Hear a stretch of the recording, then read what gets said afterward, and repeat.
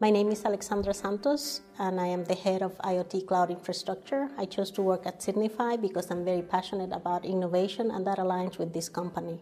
I come up with the next generation of the IoT platform subsystem. I describe it to them, I plan it, I touch every phase of the development lifecycle. I do requirements, I do development, I am their manager, I am uh, the customer facing individual. I do many activities that all go towards building solutions for the IoT platform. What inspires me about my work at Signify is the global nature of the company. I am working with distributed systems. I could be talking to Bangalore, Eindhoven, New York, you name it. I'm working with everyone in the world.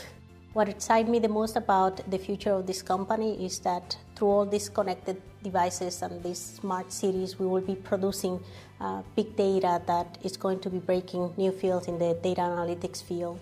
The individuals that are successful at Signify are the game changers, the safe, self motivated individuals that uh, are not uh, afraid of sharing their ideas and bringing them to life.